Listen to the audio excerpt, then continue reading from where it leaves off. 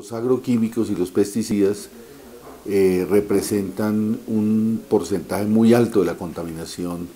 del cambio climático, son derivados del petróleo, son producidos por la química del petróleo y hacen parte entonces de esa contaminación. Por supuesto que se puede construir una industria eh, alimenticia sin los pesticidas, dado que la humanidad ya ha avanzado muchísimo en investigaciones eh, que puedan garantizar ese tipo de producción amable con la naturaleza, que no la destruya ni afecte el medio ambiente.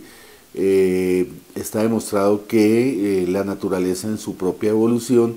produce sin contaminación y que se puede organizar en grandes cantidades ese tipo de producción. El asunto es que hay una invasión ideológica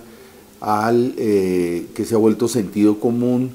que sin pesticidas y sin la técnica de los eh, transgénicos y en general de la gran industria eh, química internacional no se puede hacer producción y eso no es así. Más aún, eh, antes de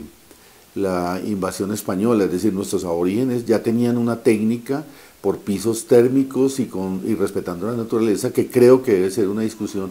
a retomar en el futuro para tratar de resolver este problema. El asunto de fondo es que hay, una, hay un gran negocio internacional con los agroquímicos.